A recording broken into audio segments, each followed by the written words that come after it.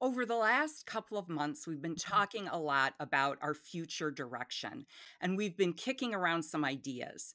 So, Carlin, you have an announcement. Yes, we're going on sabbatical. Mhm.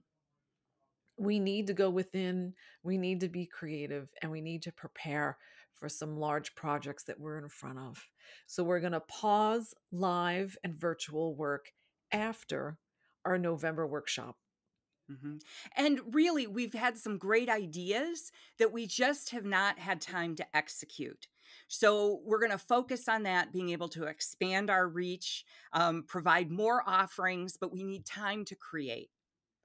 And I already feel more creative. I'm having ideas as I'm washing my hair in the shower because I have a moment. So, it was an honor to hold space for 400 clients. It was an honor to hold space to see Betty Dodson off the planet. And Mhm. it was an honor to hold weekly on our Sunday erotic recess sessions for three years during and after lockdown. And now it's time for us to look forward. So there are two spots in our November workshop.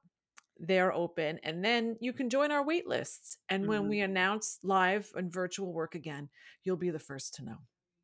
Yes, it's not a goodbye. It's really just, you know, time for us to just take a little breath from live and virtual work so that way we can come up with some other offerings, some other options for you. And we have so many online courses in, in Mhm. the in the pike, and I can't wait to get it all down and have it all there. Um, it's very nurturing, it, it nourishing Mhm. To know that I'm adding to Betty's legacy. So I just want to take a moment to pause, reflect, and be strategic. Um, so we're always here for you. Uh, you can always message us on Dodson Ross or bodysex.com. If you'd like to come to the last workshop, it's bodysex.com slash workshop. We'd Mhm. love to have you there. We'll still be here doing weekly videos. Mhm. okay. Join our email list, our wait list, and you'll be the first to know what's happening, what's changing. And we have a, a really nice uh, offering that we're going to make available this fall Mhm. uh, that we're excited about.